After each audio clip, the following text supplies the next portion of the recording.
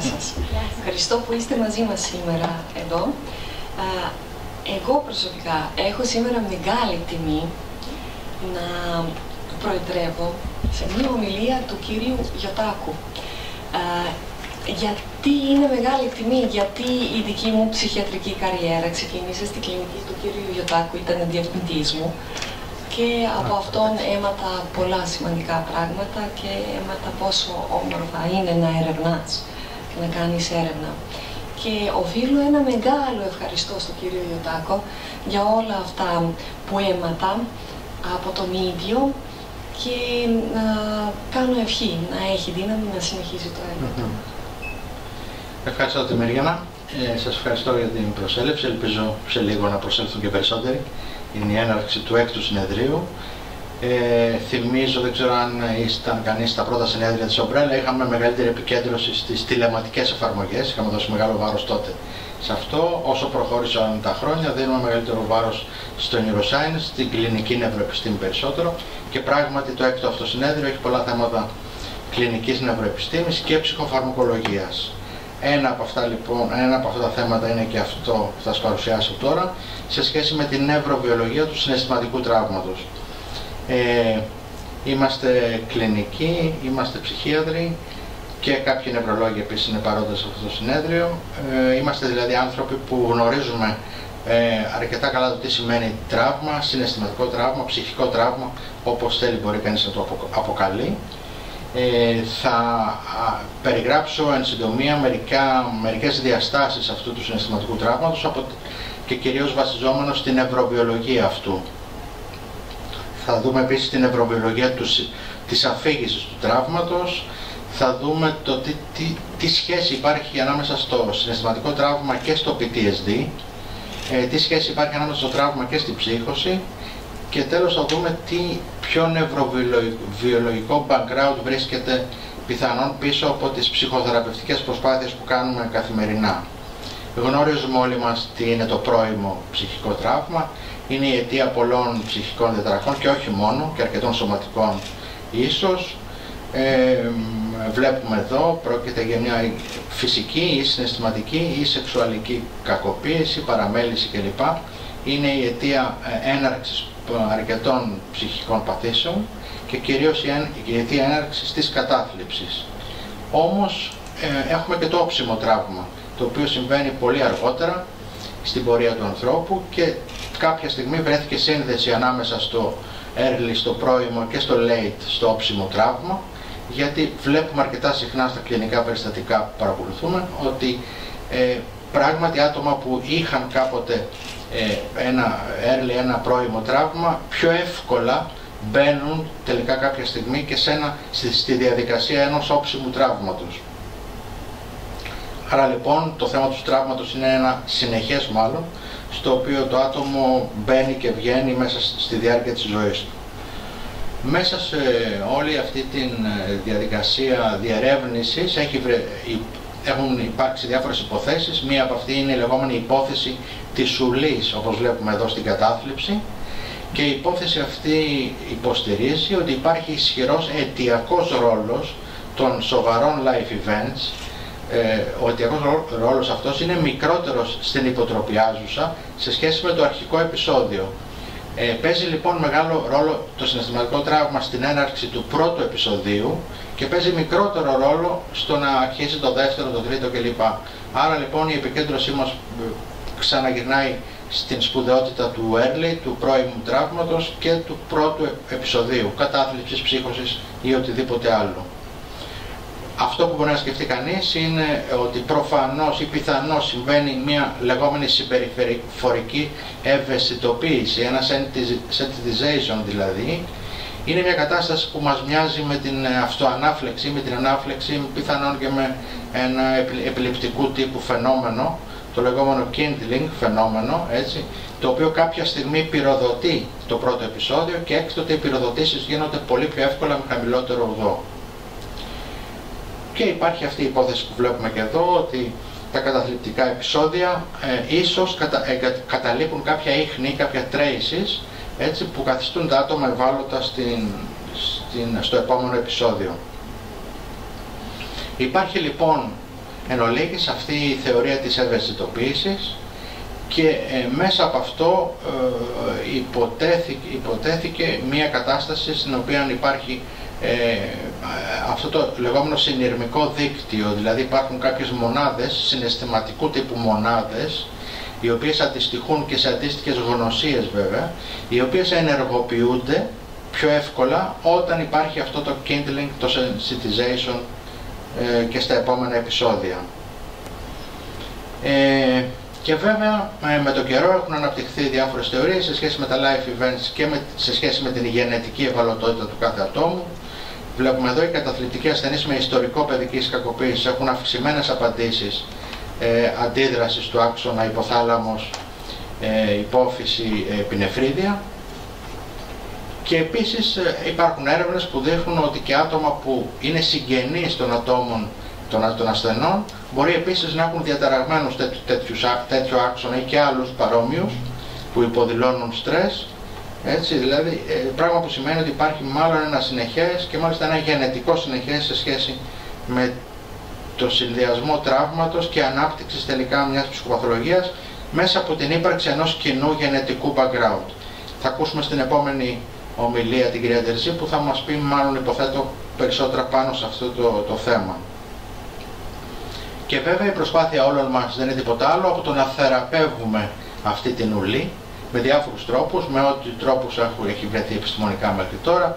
Φαρμακολογικά είναι τα λεγόμενα αντικαταθλιπτικά, αν μιλάμε για, το, για κατάθλιψη και βέβαια οι διάφορες ψυχοθεραπείες που υπάρχουν. Ε, δεν θα πούμε περισσότερα σε αυτό, είμαστε ήδη ε, ενήμεροι για όλα αυτά. Ε, εισαγωγικά επίσης να πω ότι ε, νευροβιολογικά αυτό που συμβαίνει στη διαδικασία της πρώτης ανάφλεξης αλλά και των μετέπειτα αναφλέξεων και των υποτροπών είναι αυτό που πιθανόν ε, ε, σχετίζεται με, την λεγόμενη, ε, με το λεγόμενο συναγερμό που εκπέμπουν λιπικές δομές και ιδίως η αμυγδαλή όπως βλέπουμε εδώ. αυτό που συμβαίνει στην περίπτωση του συναισθηματικού τραύματος είναι μάλλον μια παλινδρόμηση όπως βλέπουμε εδώ σε μια περισσότερο αδιαφοροποίητη συναισθηματική κατάσταση, συμβαίνουν φαινόμενα disconnection, δηλαδή disconnected, ε, που το άτομο αποσυνδέει τις καταστάσεις ούτως ώστε να πονέσει εντός αργών λιγότερο. Ε, και βέβαια υπάρχει αυτό το φαινόμενο του συναισθηματικού numbness, του μουδιάσματος δηλαδή, ε, σαν μέρος της όλης εκδήλωσης του φαινομένου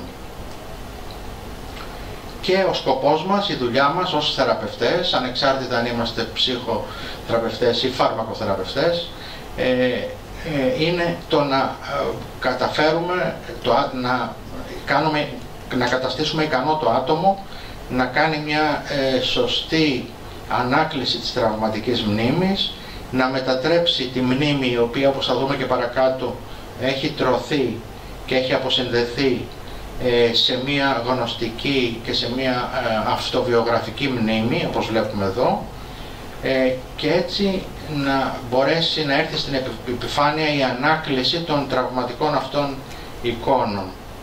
Θα δούμε περισσότερα αμέσως μετά σε σχέση με αυτό.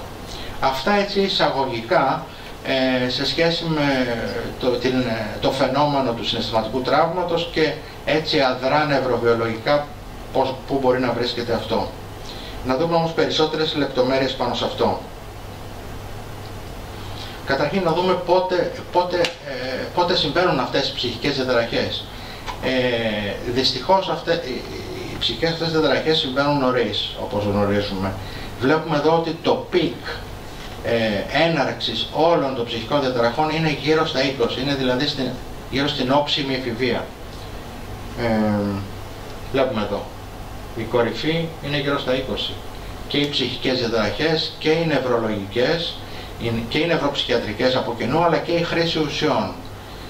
Ε, γνωρίζουμε και πιθανόν όλα, όλα αυτά να έχουν να, κάνουν με η πρώιμη δηλαδή έναρξη των ψυχικών παθήσεων πιθανόν έχει να κάνει και με τον τρόπο ορίμανσης του ανθρώπινου και συγκεκριμένα του εφηβικού εγκεφάλου στον οποίο όπως βλέπουμε εδώ υπάρχουν ορισμένα χαρακτηριστικά Υπάρχει συνεχώς μια αύξηση των ευρώμονων, υπάρχει μια αύξηση της μη ελληνοποίησης Ταυτόχρονα όμως υπάρχει και μια αύξηση της εξάλληψης των συνάψεων, αυτών δηλαδή των συνάψεων που δεν έχουν χρησιμοποιηθεί, έτσι, και με αποτέλεσμα να γίνεται αυτό το σμήλευμα τελικά του εγκεφάλου και η ολοκλήρωση του plasticity. Να θυμίσω επίσης τον τρόπο ανάπτυξης του εγκεφάλου στους, στους εφήβους. Στους εφήβους λοιπόν, στους οποίους όπως είδαμε, οι στην εφηβική ηλικία, η οποία αποτελεί και την ηλικία έναρξης των ψυχικών διαταραχών. Έτσι. Ε, σε γενικές γραμμές, δεν θα πω σε λεπτομέρειες, οι έρευνες έχουν δείξει δύο πράγματα ότι ο ανθρώπινος εγκέφαλος στην παιδική, ε, εφηβική και στην όψιμη εφηβική ηλικία αναπτύσσεται από πίσω προς τα μπρος, γύρω στα 18 με 20 ολοκληρώνεται η ορίμανση και του μετοπιαίου και προμετωπιαίου φλοιού και δεύτερον αναπτύσσεται από κάτω προς τα πάνω.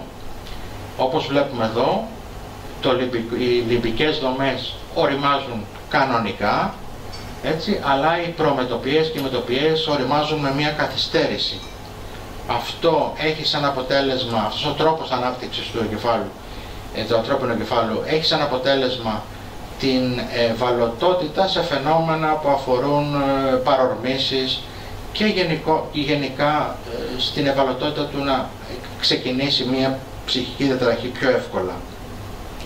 Αν θέλουμε αυτό να το συνδυάσουμε, σε, μάλλον όλο αυτό το φαινόμενο, ο τρόπος ανάπτυξης του εφηβικού εγκεφάλου ε, μας δείχνει ότι ο εφηβικός εγκέφαλος και ο παιδικός και ο εφηβικός είναι περισσότερο ευάλωτος στο συναισθηματικό τραύμα και μάλιστα στο πρώιμο συναισθηματικό τραύμα που ανέφερα στην αρχή.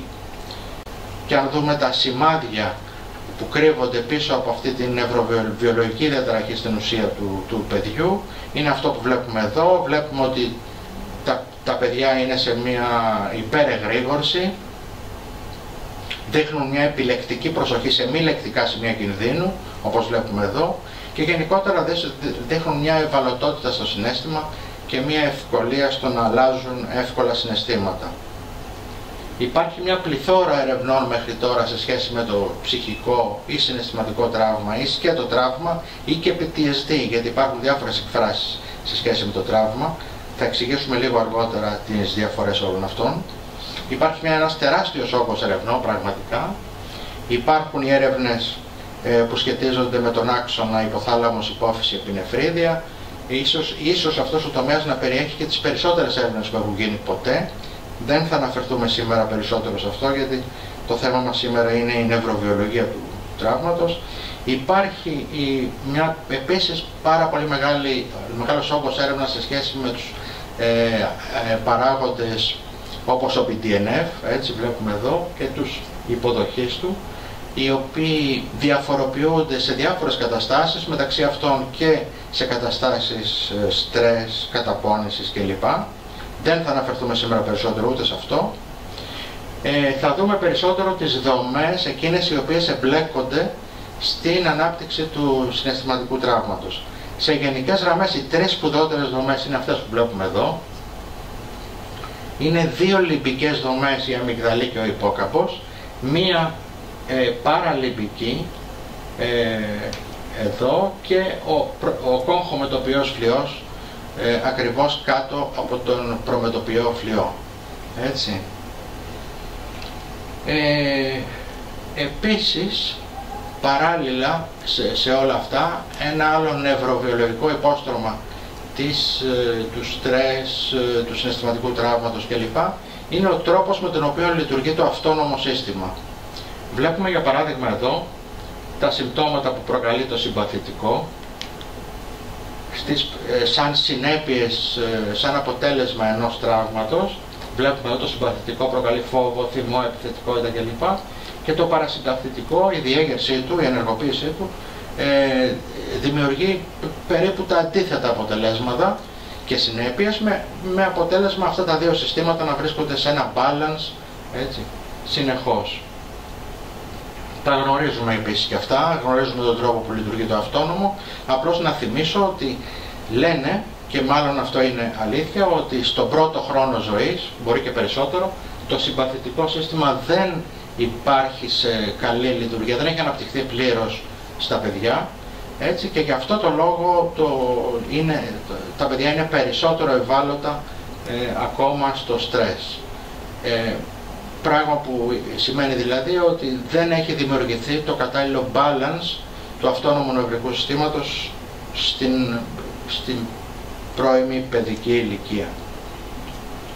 Ένας άλλος τομέας ερευνών έχει να κάνει φυσικά με τι άλλο με τη σερωτονίνη. Γενικότερα με τους νευροδιαβαστές, αλλά με τη σερωτονίνη που κατέχει τα σκύπτρα των, της έρευνας, αλλά και πολλά φάρμακα σχετίζονται με την αντιμετώπιση του συναισθηματικού τραύματος και συγκεκριμένα με την κατάθλιψη.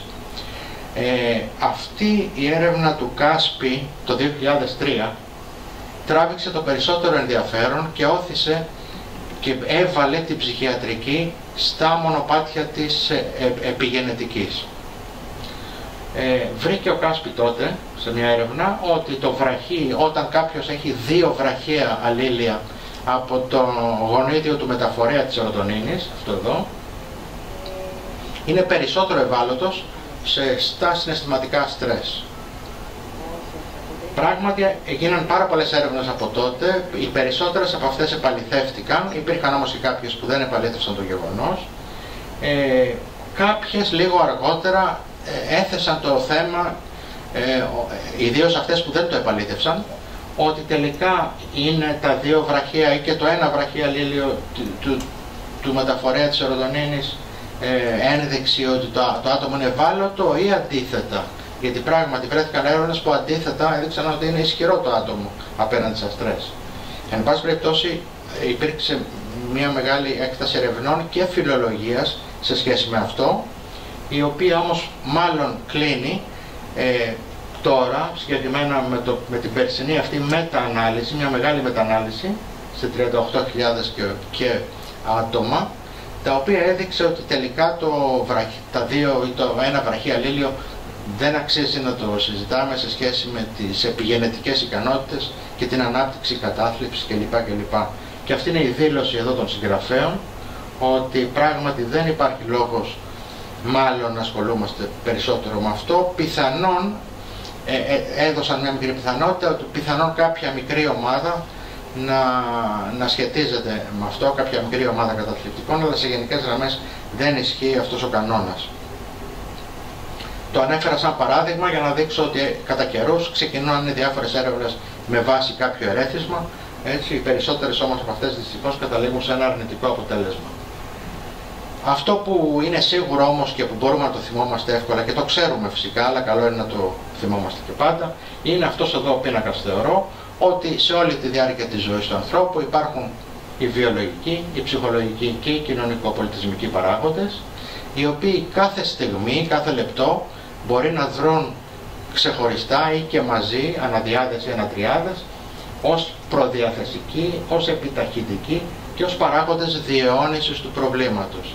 Έχοντας λοιπόν αυτό το χάρτη υπόψη μας, νομίζω ότι μπορούμε να κινηθούμε πιο ασφαλώς ε, στο, στην κατανόηση της εξέλιξης και της πορείας της προσωπικότητας ενός ανθρώπου, αλλά και της ψυχοπαθολογίας αυτού.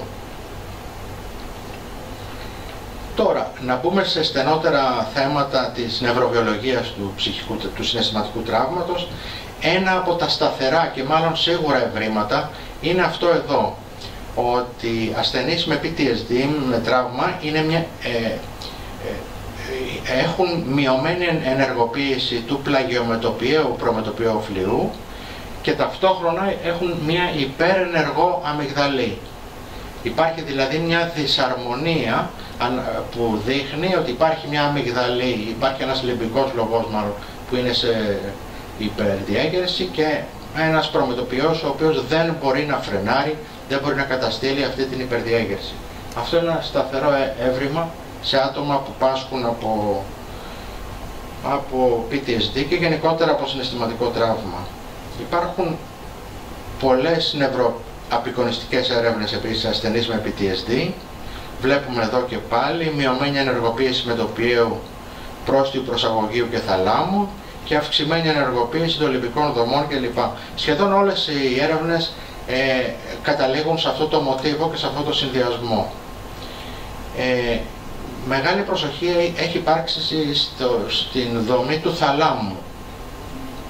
Ο θάλαμος που όπως θα δούμε και, μετά, και πιο μετά είναι μια δομή η οποία ε, στην ουσία προσωμιώνει τον, τον εξωτερικό κόσμο έτσι, ε, έδειξε να σχετίζεται και μάλιστα να βλάπτεται σε άτομα που, έχουν που πάσχουν από συναισθηματικό τραύμα. Και βλέπουμε εδώ τα ευρήματα, μάλλον βλέπουμε ε, τα συμπτώματα που έχει κάποιος ε, με συναισθηματικό τραύμα και, ε, και τη συσχέτιση αυτών των συμπτωμάτων με, με τη βλάβη αντίστοιχων πυρήνων του θαλάμου. Ε, παρόμοια ευρήματα υπάρχουν Έχουμε λοιπόν τα ευρήματα σε άτομα με PTSD. Παρόμοια ευρήματα υπάρχουν και στα άτομα που διηγούνται στη διάρκεια της διήγησης κάποιου ε, συναισθηματικού, του συναισθηματικού τους τραύματος. Βλέπουμε εδώ σκάν σε μια ηχογραφημένη αφήγηση ενός τραυματικού γεγονότος, υπάρχει δραστηριότητα του μετεχμιακού, της δεξιάς αμυγδαλής, του κοχομετωπιαίου, της έλικας του προσαγωγείου κλπ. Βλέπουμε δηλαδή τις ίδιες διαταραγμένες δομές που είχαμε και στα άτομα με PTSD. Βλέπουμε εδώ και άλλες έρευνες αρκετές. Στην αφήγηση του τραυματικού γεγονότος υπάρχει ενεργοποίηση της νήσου, της πρόστιας συγκεκριμένα νήσου, της πρόστιας περιοχής του έσω πρωταφικού φλοιού και κατ' επέκταση και ε, του δευτερεύοντα οπτικού φλοιού. Ο οπτικός φλοιός ο οποίος συμμετέχει στη φαντασίωση, αφού έτσι κι αλλιώς το τραύμα φαντασιώνεται, επαναφαντασιώνεται. Υπάρχει λοιπόν ενεργοποίηση και του, οπτικού, του δευτερεύοντα οπτικού φλοιού. Το ίδιο μας δείχνουν και αυτές οι έρευνες εδώ. Επίσης ένα άλλο έτσι, χαρακτηριστικό έβριμα στα άτομα με PTSD είναι αυτή η λεγόμενη σιωπή της περιοχής του Μπροκά. Έτσι, η περιοχή που είναι υπεύθυνη για τον λόγο και την εσωτερική ομιλία κλπ.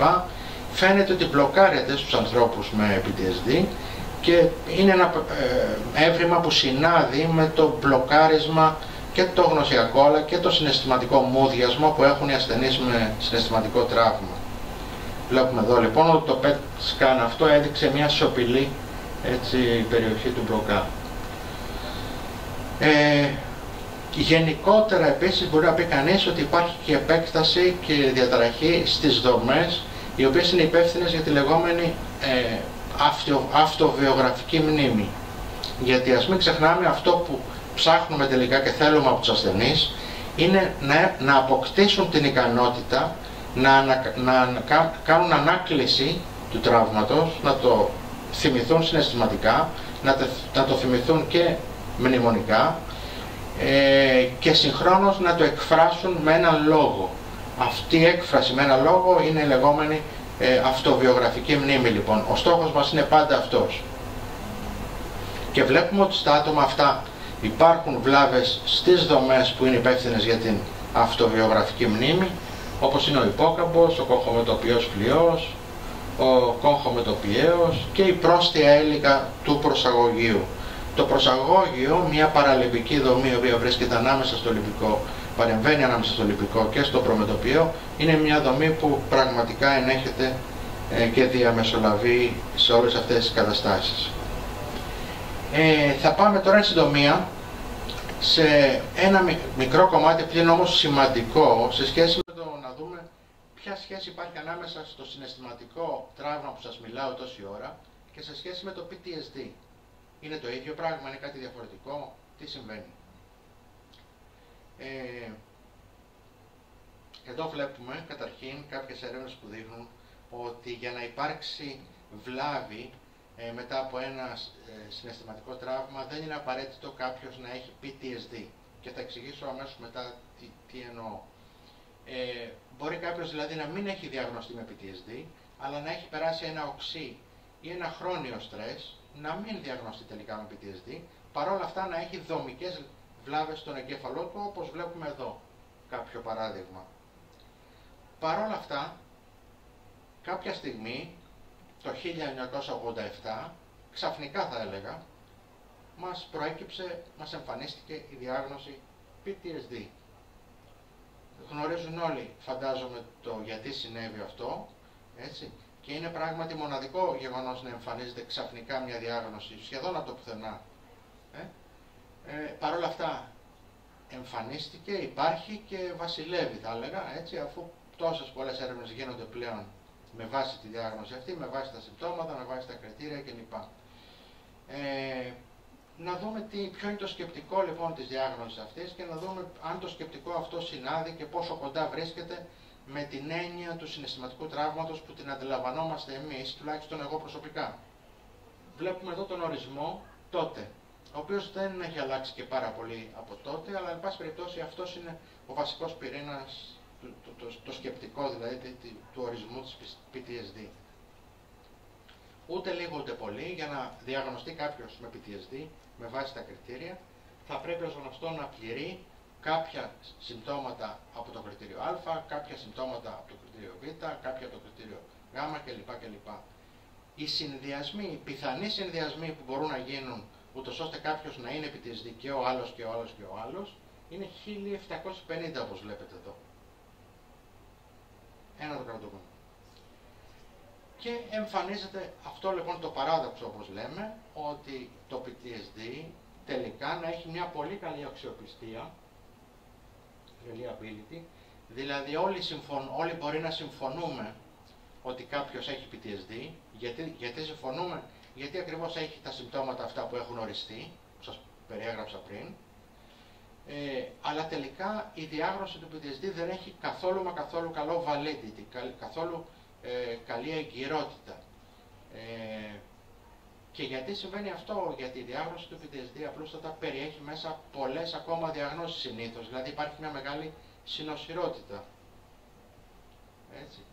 Βέβαια αυτό το χαμηλό validity, χαμηλή εγκυρότητα είναι αλήθεια ότι ισχύει για πολλές ψυχικές παθήσεις, όμως στην περίπτωση, στην περίπτωση της PTSD η, η πιθανότητα είναι πολύ, το ποσοστό μάλλον είναι πολύ χαμηλό, ιδιαίτερα στο, στην όσο αυτή.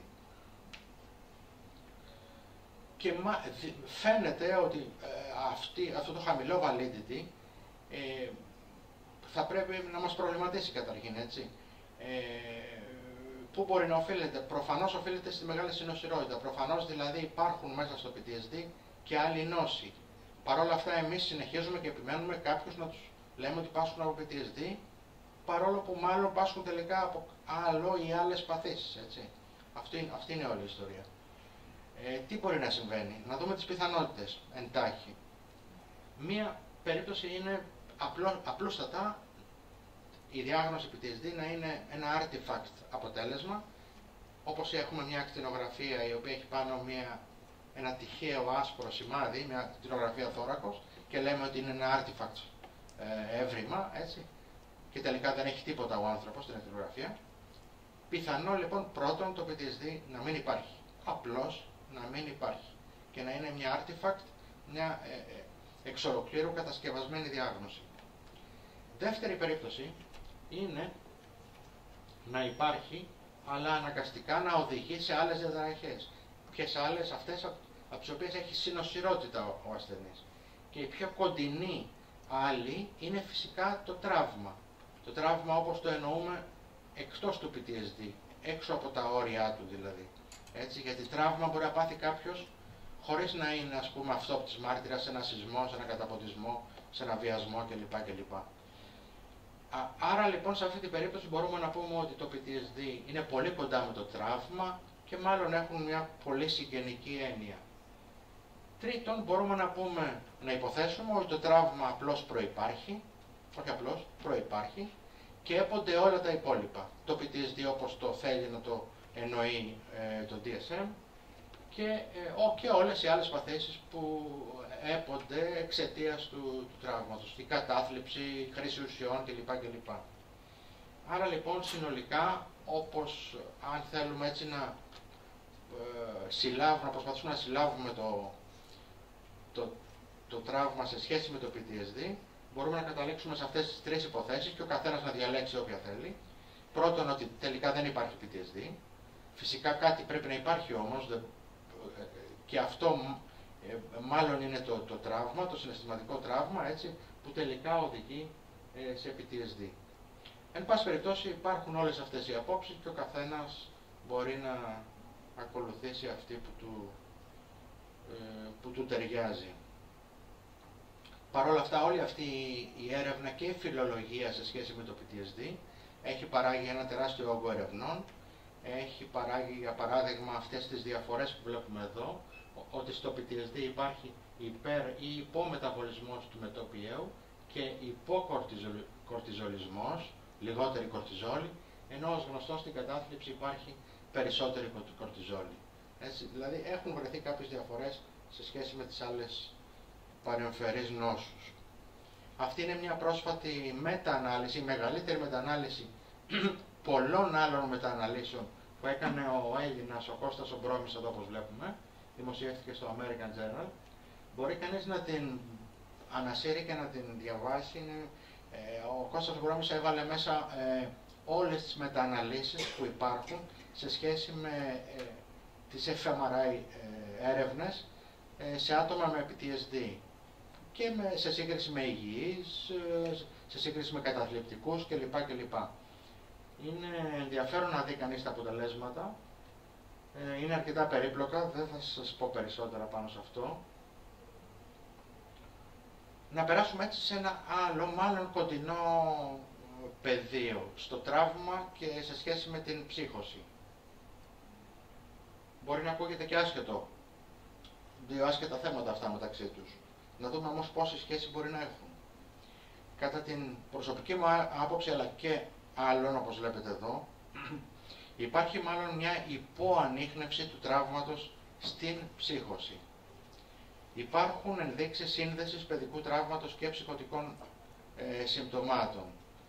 Και το βλέπει κανείς αυτό όσο πιο πολύ πλησιάζει την, την ψύχωση. Και τι εννοώ; Ε, οι έρευνες που έχουν γίνει σε άτομα με υψηλό κίνδυνο ψύχωσης, στους εφήβους δηλαδή, που τους περιγράψαμε και πριν, ε, σε αυτούς τους πληθυσμούς, τους high risk psychosis πληθυσμούς, θα δει κανείς πολύ υψηλά ποσοστά ύπαρξης συναισθηματικού τραύματος. Βλέπετε εδώ 80%. Έτσι. Φαίνεται λοιπόν ότι αν σκύψουμε περισσότερο στο θέμα, στους ψυχοτικούς, στους ισοφρενείς, στο ιστορικό τους κλπ. Θα βρούμε πολύ πιο συχνά ιστορικό ε, ψυχικού τραύματος ε, και αυτό φαίνεται, φάνηκε τελικά μελετώντας τους ψυχοτικούς ή τους χάρες και αφήβους. Ε, να, μπορεί κανείς βέβαια επίσης να παραλληλήσει τα συμπτώματα του τραύματος ή της PTSD με την ψύχωση, πράγματι μπορεί να φαίνεται λίγο τραβηγμένο αυτό, αλλά υπάρχουν ομοιότητες εδώ, αν τις δει κανείς.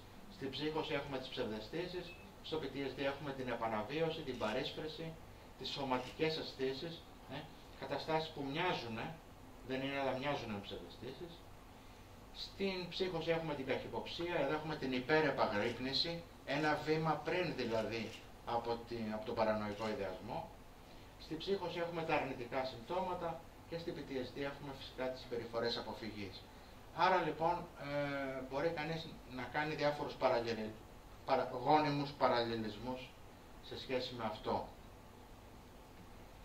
Και αν κανείς προσπαθήσει να δει τη σχέση ανάμεσα στο τραύμα και στη ψύχωση, θα καταλήξει να, στο, στο προηγούμενο σκεπτικό που σας περιέγραψα πριν, Δηλαδή μπορεί να υποθέσει ότι το τραύμα πιθανόν να οδηγεί σε ψύχωση ή ότι η εμπειρία της ψύχωσης, όχι η ψύχωση αυτή καθ' αυτή, αλλά η εμπειρία της ψύχωσης μπορεί να οδηγήσει σε τραύμα.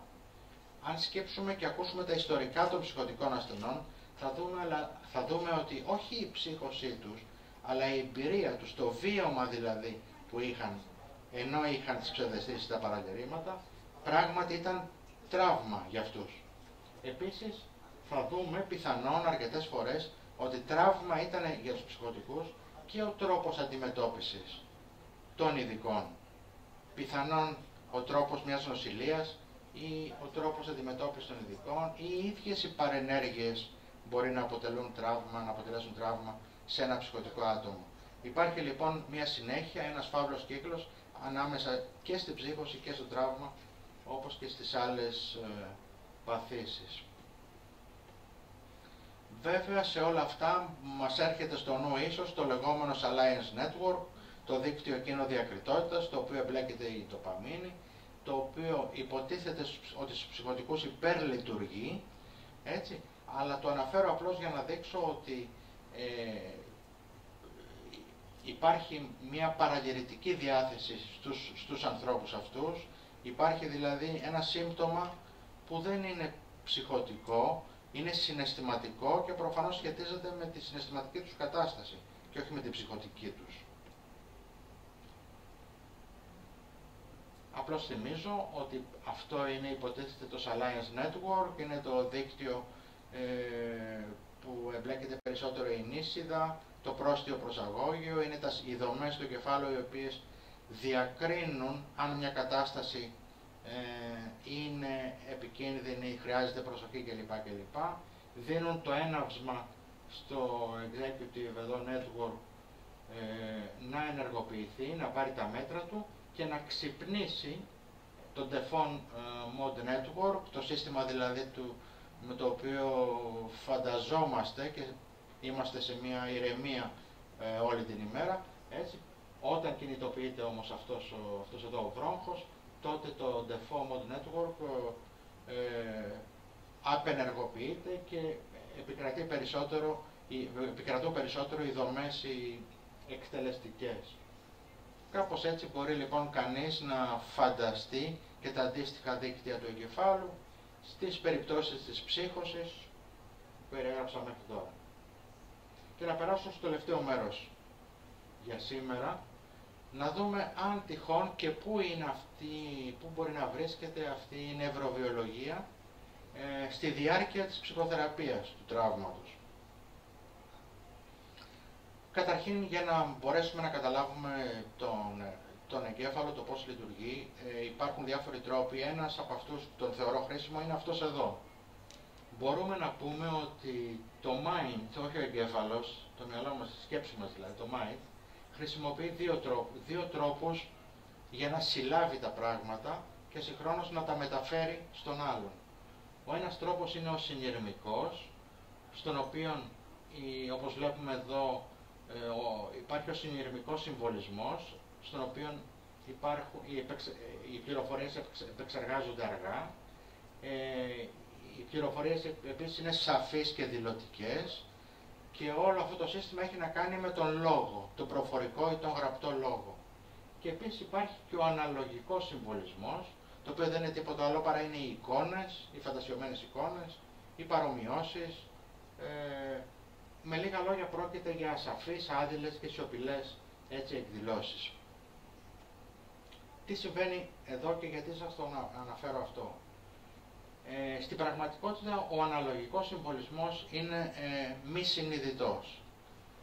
Να πούμε επίσης ότι το μη συνειδητό είναι μια μεγάλη έκταση, μια τεράστια έκταση στη λειτουργία του, του mind και ότι ο συνειρμικός συμβολισμός ε, κατέχει μια μικρή έκταση και δεν είναι τίποτα άλλο από αυτό που τελικά βγάζει στην επιφάνεια, τσιμπάει και βγάζει στην επιφάνεια κομμάτια του μη, του μη συνειδητού. Το μη συνειδητό όμως είναι περισσότερο σχεδιασμένο με εικόνες, με σύμβολα. Έτσι. Και να δούμε πώς αυτά τα πράγματα μπορεί να σχετίζονται με την ανάσυρση συναισθηματικού υλικού στη διάρκεια της ψυχοθεραπείας σε ε, άτομα με συναισθηματικό τραύμα. Ε, βλέπουμε εδώ οι συμβολικές εικόνες που ανακαλούνται κατά την ψυχοθεραπεία είναι αναπαραστάσεις προηγούμενων εμπειριών κλπ. Η ανάσυρση τώρα αυτή μπορεί να γίνει με διάφορους τρόπους. Η, ο πιο εύκολο, η πιο εύκολη τρόπη είναι η ζωγραφική, ο χορός, η μουσική. Με λίγα λόγια, με τρόπους δηλαδή όπου ανασύρονται σύμβολα και εικόνες όπως σας είπα πριν. Ε, να θυμηθούμε και να πούμε ότι στη διάρκεια του συναισθηματικού τραύματος οι εικόνες αυτές είναι συνήθως αποσυνδεδεμένες, δεν έχουν μία σειρά, ε, υπάρχει disconnection ανάμεσα στις εικόνες να πω επίσης ότι οι εικόνες αυτές δεν είναι καταπιεσμένες, όπως έτσι πιθανόν πιστεύουμε, είναι περισσότερο αποσυνδεδεμένες και διαχωρισμένες, όπως βλέπουμε εδώ. Και ε, όλοι μας, ε, εδώ βλέπουμε διάφορες δομές που συμμετέχουν σε όλη αυτή τη διαδικασία. Τις αναφέραμε πριν. Επειδή έχει περάσει η ώρα θα προχωρήσω και λίγο πιο ε, γρήγορα. Ο, στό, ο στόχος μας, όπως σας είπα και πριν, είναι να καταφέρει ο ασθενής να αποκτήσει μια αυτοβιογραφική μνήμη και, μια συνεκτική, και να αποκτήσει μια συνεκτική αναπαράσταση. Δηλαδή αυτό που αναπαριστά, το τραυματικό γεγονός που αναπαριστά, να έχει μια συνεκτικότητα. Γιατί έτσι μόνο μπορεί να γίνει αντιληπτό. Εδώ είναι ο κόχο με το οποίος φλοιός, ο οποίος σχετίζεται με την τελική διεργασία της ανάσυρσης του συναισθηματικού μνημονικού υλικού. Ε, να πω επίσης ότι κάθε νέα ανάσυρση σημαίνει νέα ανάμνηση. Ε, τι σημαίνει αυτό, ότι όταν ανασύρουμε μια συναισθηματική μνήμη από ένα ε, τραύμα, από ένα συναισθηματικό τραύμα, δεν είναι, πάντα δεν είναι ποτέ η ίδια. Κάθε φορά η ανάσυρση είναι διαφορετική. Ε, γιατί, γιατί κάθε φορά που ξαναμπαίνει το μυαλό σε μια λειτουργία, ε, ξανασυμμετέχουν όλοι αυτοί, όλες αυτές οι δομές και όλες οι λειτουργίες, ούτως ώστε να ξανασυνθέσουν τη νέα πληροφορία. Εκείνο που έχει φανεί, από ό,τι βλέπουμε εδώ σε, σε κάποιες έρευνες, στην ανάσταση συναισθηματικών μνημών στο εργαστήριο, δηλαδή σημαίνει σε ανθρώπους που τους έβαλαν κάτω και τους μελέτησαν, έτσι, αυτό σημαίνει στο εργαστήριο, η ανάσυρση αυτή φαίνεται να σχετίζεται με την ε, στενή σύνδεση με συναισθηματικό υλικό, δηλαδή τι σημαίνει αυτό, σημαίνει ότι για να μπορέσει να γίνει μια καλή και πραγματική ανάσυρση θα, θα πρέπει αυτό το μνημονικό υλικό να είναι συνδεδεμένο με το συναισθηματικό και μόνο αν ο θεραπευτής καταφέρει να φέρει τον ασθενή στην ίδια ή σε παρόμοια συναισθηματική κατάσταση, τότε θα καταφέρει να φέρει στην επιφάνεια και την πραγματική μνημονική, ε, το, το πραγματικό μνημονικό υλικό. Ο στόχος μας λοιπόν είναι πάντα να αποκτήσει ο ασθενής την λεγόμενη αυτοβιογραφική μνήμη, να αποκτήσει την αφηγηματική συνοχή που σας είπα πριν. Εδώ βλέπουμε ε, το explicit memory, δηλαδή τη δηλωτική μνήμη, δηλαδή αυτά που θυμόμαστε πραγματικά και που έχει να κάνει με το συνειδητό που σας περιέγραψα πριν, ε, τις δομές που συμμετέχουν, ο υπόκαμπος είναι η κύρια δομή εδώ και το αντίστοιχα στο μη συνειδητό, στη μη συνειδητή μνήμη ε, και στη μη συνειδητή ε, ναι, μνήμη σχετίζεται περισσότερο ε, η αμυγδαλή. Ε. Βλέπουμε λοιπόν ότι μια συναισθηματική δομή όπως είναι η αμυγδαλή σχετίζεται περισσότερο με την μη συνειδητή μνήμη. Και σε γενικές γραμμές το υπόβαθρο όλων αυτών είναι αυτές οι τέσσερις δομές που σας περιέγραψα όλη αυτή την ώρα. Είναι δύο λιμπικές δομές, η αμυγδαλή και ο υπόκαμπος. Η αμυγδαλή σχετίζεται με το συνέστημα, ο υπόκαμπος με τη μνήμη. Ε, το προσαγώγιο, έτσι οπωσδήποτε, είναι ο διαμεσολαβητής μαζί με την ίσιδα και ο κόγχομετοποιός φλοιός, ο οποίος δεν είναι τίποτα άλλο παρά το τελικό εργαστήριο, όπως βλέπουμε εδώ, ο οποίος επαναφέρει κάνει retrieval όπως βλέπουμε εδώ, επαναφέρει τη μνήμη συνεχώς στο προσκήνιο. Ε, τελειώνω κάπου εδώ, απλώς να δείξω ότι, ε, η, να τονίσω μάλλον ότι όλη η διαδικασία της ανάσερσης και της μνήμης δεν θα μπορούσε να γίνει αν δεν υπήρχε η διαδικασία του ξεχάσματος. Θα ήταν αδύνατον ο εγκέφαλος να χωρούσε τόσες τεράστιες πληροφορίες που παίρνει κάθε λεπτό και κάθε... Ε, θα έπρεπε με κάποιο τρόπο να μπορεί να ξεχνάει, ούτως ώστε να μπορεί να, να θυμάται και να ξαναφέρει στην επιφάνεια. Όλη αυτή τη διαδικασία την κάνουν οι δομές που σας ανέφερα πριν με την ευκαιρία του συναισθηματικού τραύματος και φυσικά η κεντρική δομή της ανάσευσης και της μνήμης εργασίας όπως λέμε είναι ο κόγχομετωπιός φλοιός, ο οποίος είναι κάτω ακριβώς από τον προμετωπίο. Η δουλειά μας όπως σας είπα είναι αυτή και η προσπάθειά μας να προσπαθήσουμε τις εικόνες, τον συμβολισμό δηλαδή των ε, πασχόντων, των συναισθηματικά τραυματισμένων ανθρώπων, να τον μεταφέρουμε σε συνειρμικό συμβολισμό, σε γλώσσα ή σε γραφή, έτσι, και ούτε, ε, και ούτε λίγο ούτε πολύ να συμβεί αυτό το artwork που λέμε, είτε πράγματι αυτό να γίνει μέσα από μια ε, ψυχοθεραπεία τέχνης, αλλά έτσι κι αλλιώς, και γι' αυτό το έβαλα εδώ για να το τονίσω, η ψυχοθεραπεία έτσι κι αλλιώς είναι μια τέχνη. Η προσπάθειά μας λοιπόν είναι να κινήσουμε όλη αυτή τη διαδικασία σε έναν ψυχικά συναισθηματικά τραυματισμένο ασθενή. Ε, Εδώ είναι ένα πολύπλοκο σχήμα που δείχνει τους διάφορους πυρήνες του θαλάμου. Όπως σας είπα πριν, ο θάλαμος συμμετέχει ε, έντονα ε, και πάσχει μάλιστα στους ασθενείς με ε, συναισθηματικό τραύμα και PTSD. Αυτό μας το έχουν δείξει οι έρευνες που σχετίζονται με το EMDR. Ε, ε, είναι μια μέθοδος ειδική για, στην αντιμετώπιση του ψυχικού τραύματος, έτσι, και οι έρευνες που έχουν γίνει, ε, γίνει σε ασθενείς που έχουν θεραπευτεί τελικά με EMDR έδειξαν ότι υπάρχει ε, ε, βελτίωση της λειτουργίας του θαλάμου, ο οποίος είχε βλαφτεί πριν από το ε, συναισθηματικό τραύμα. Ε, να θυμίσω σε σχέση με το θάλαμο, αυτός εδώ είναι ο θάλαμος, κάνει αυτά τα πράγματα που βλέπουμε εδώ. Είναι ένα σύστημα προσωμιωτή, είναι ένα σύστημα δηλαδή το οποίο ε, μας φτιάχνει τον, ε, έναν εσωτερικό κόσμο, την αναπαράσταση του κόσμου.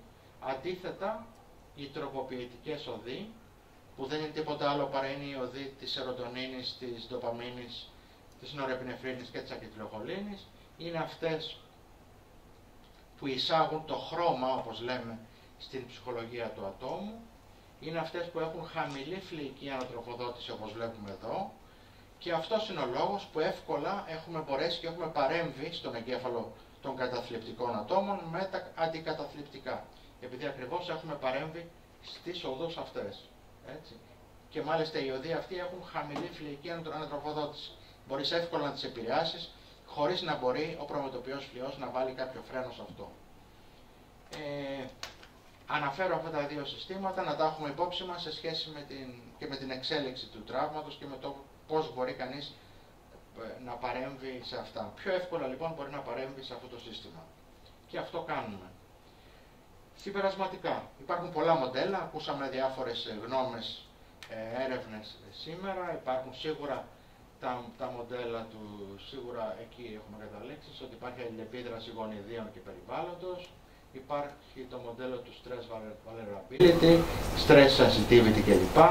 Υπάρχουν οι παλαιότερες έρευνες σε σχέση με την δράση του stress και του τραύματος στον άξονα των επινεφριδίων.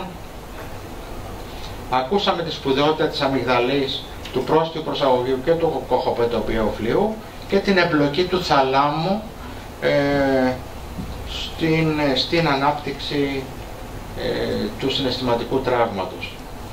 Ε, τι μπορεί να πει κανείς για το μέλλον; Ε, αυτό που αποτελ, αποτελεί κατά τη γνώμη μου και το σημείο της σημερινής παρουσίασής μου, δηλαδή να είμαστε, μάλλον θα πρέπει να είμαστε περισσότερο προβληματισμένοι στο, τι, στο αν το συναισθηματικό τραύμα τελικά είναι το κύριο σημείο ανάπτυξης των ψυχικών παθήσεων, αν είναι ή όχι, γιατί αν είναι θα πρέπει η έρευνα να στραφεί ακόμα περισσότερο σε αυτό. Ε, θα πρέπει να κινηθούμε, πιστεύω, πέρα από διαγνωστικές δεσμεύσεις. Το είδαμε αυτό στην περίπτωση της ψύχωσης, είδαμε στην ψύχωση πόσο συχνό είναι το συναισθηματικό τραύμα. Είδαμε επίσης πόσο διαφορετική τοποθέτηση έχει το DSM πάνω στο τραύμα σε σχέση με την τοποθέτηση που έχουμε εμείς καθημερινά ως κλινική. Θα πρέπει λοιπόν προσωπικά πιστεύω να δούμε το ψυχικό τραύμα, το συστηματικό τραύμα πέρα από διαγνωστικές δεσμεύσεις. Θα πρέπει να προσπαθήσουμε να βρούμε ακόμα περισσότερο αιτιώδεις, αιτιώδεις σχέσεις και θα πρέπει με βάση αυτά όλα να προσπαθήσουμε να αναπτύξουμε κάποιες, ε, κάποιες ε, μεθόδους στανταρισμένες ούτως ώστε να μπορούμε κάποια στιγμή να μιλάμε όλοι με την ίδια γλώσσα σε σχέση με το συναισθηματικό τραύμα. Αυτά. Σας ευχαριστώ. Ευχαριστούμε πολύ.